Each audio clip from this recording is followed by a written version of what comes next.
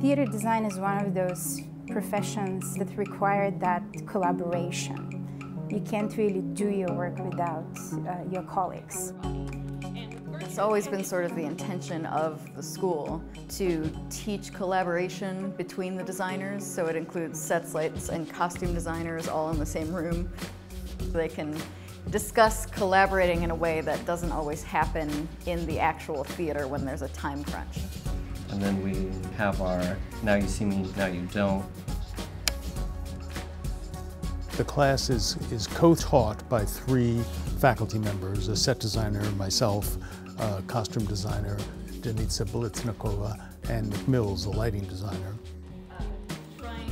Very often at the undergraduate level, design students do not have the opportunity to work with, with the other fields as much in a class setting. What we're training our students is actually to be ahead of the game and think as a director, we think. We think as an actor.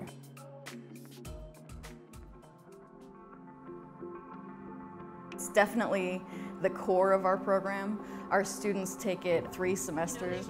It's amazing what we see from their first semester to their last semester, you know, how much they grow throughout the class. We often bring in guest directors either from our faculty or outside directors from local theaters, and we work on projects collaboratively. It really is the place where you can really sculpt yourself and build yourself up as an artist. And with the right support team like the faculty and staff that we have here, you can really do that. And I think CoLab is an integral part of that process. Because we work in different groups every time, it teaches you how to work with different kinds of people because all of us design in different ways and communicate in different ways. And you have to learn to adapt to those so that you can still create one cohesive design in the end. The class is small, so we could pay attention to each student individually and then give them the support that they need. We can't have students fall through the cracks.